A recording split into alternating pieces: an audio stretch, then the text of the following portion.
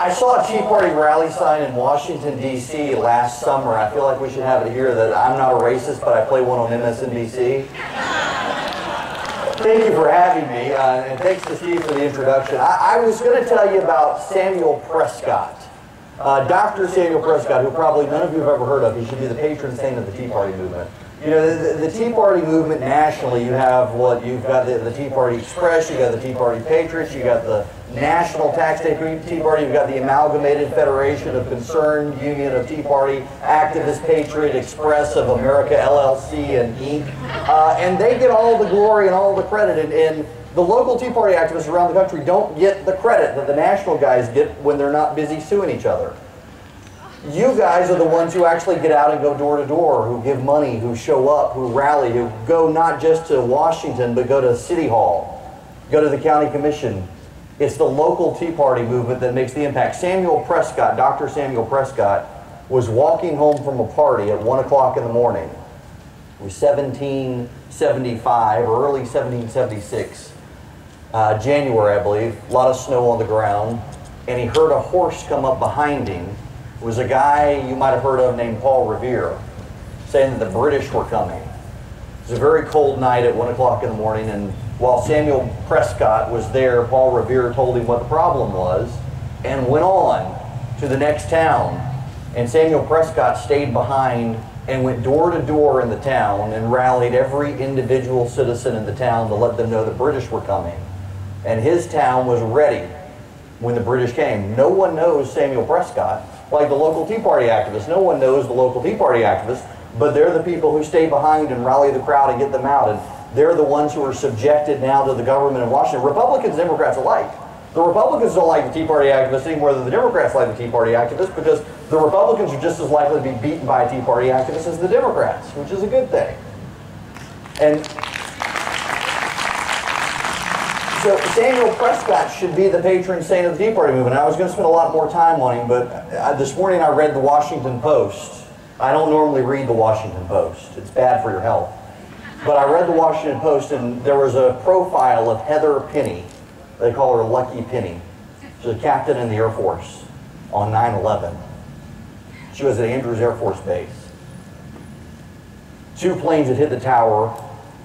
One had hit the Pentagon and United 93 was on its way to Washington. And they put her in her plane and got her out to the runway, and they told her to bring down United 93. They didn't put any weapons on the plane. She was the weapon. And she, a captain in the Air Force, flying an F-16, was willing to fly her plane into United 93 and kill herself and everyone on that plane to save her country. And she is an American hero for doing it. And we remember people like that this weekend.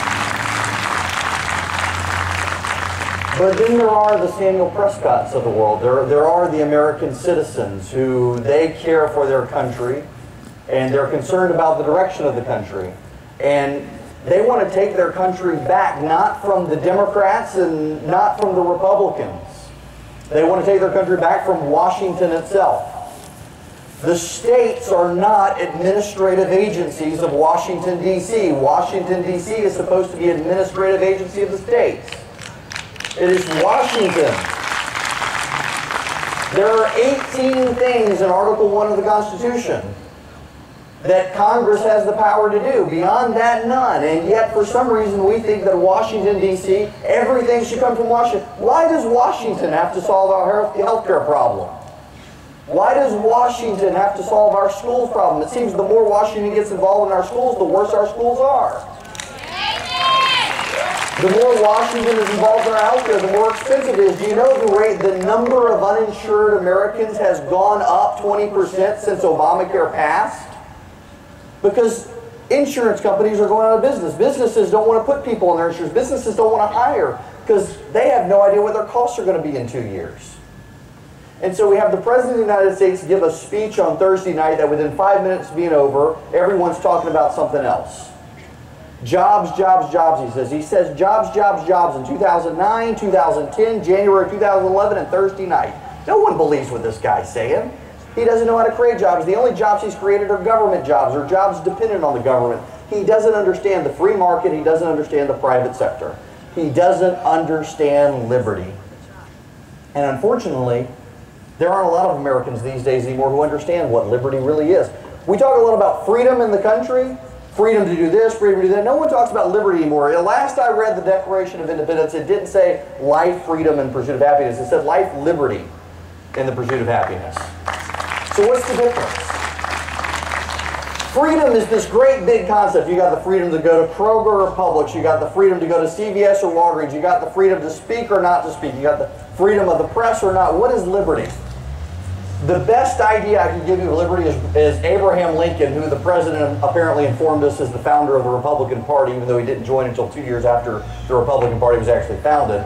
By the way, today PBS has altered the president's transcript from Thursday night to strip out the little line where he said, Abraham Lincoln was the founder of the Republican Party. It doesn't exist anymore at PBS, the government-run media operation. So Abraham Lincoln in 1856 actually went to campaign for the very first Republican presidential candidate. He traveled by horseback for two weeks to talk to a crowd of about a thousand. Went from Springfield, Illinois to Kalamazoo, Michigan, and 10,000 people showed up for a crowd of a thousand. Now they tell me that back in the day when there were no automobiles and no airplanes and stuff, you could actually hear without a microphone, a crowd of 10,000 people could hear. The world was quieter back then. And Abraham Lincoln gave probably the best idea of what liberty actually means. He said, in this country, and it's still in its infancy, unlike any other country on earth, the reason we're the envy of the world is because in this country, unlike any other, every man can make himself. And that's quintessentially the definition of liberty. In this country, you have a freedom beyond the freedom of choice. You have a freedom beyond the freedom of speech. You have the freedom to be left alone by your government. You have the freedom to opt into your government. You don't have to go vote. You know, we're an anomaly in the world. Most countries, you get compelled by the government to go vote. In Australia, you get fined if you don't go vote. In Belgium, you get fined if you don't go vote. In France, you get fined if you don't go vote. In this country, I would encourage people not to go vote if they don't know what the heck is going on. Frankly, we, we got 47% of the country taking money from Washington and not sending money to Washington. I would really encourage those people not to vote. I mean, I realize it's a radical notion these days, but when you reach a point in the country where a majority of people are getting stuff without having to contribute to society, your society starts to go downhill very rapidly. It's just, it, we've lost something in this country. In, in, the 1960s, in the Great Society, we went from talking about the, the needy, the deserving poor. Lyndon Johnson decided that we would talk about the poor in general. So we don't distinguish anymore between the poor who we as a society have an obligation to help and the poor who had a run of bad luck and they for some reason want us to bail them out. No, you know, this country is about taking risks. When the first Americans went through the Cumberland Gap, the government was not there to save them when their wagon got stuck. When the first Americans went out onto the Great Plains to build houses in an area of the country they had no idea what the weather was going to be like, horrible storms in the summer, horrible cold in winter, they didn't have Uncle Sam there to give them a bailout on their sod farm.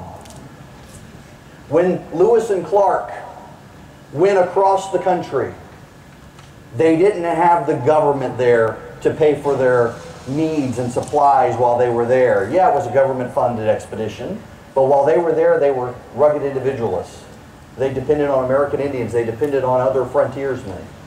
We as a society these days I mean, the government tells us what sort of light bulb to put in our house. They, they're about to tell us what sort of toilet paper to use. They're about to get rid of two-ply toilet paper.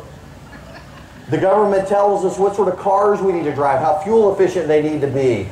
The government tells us things the government shouldn't have to tell us.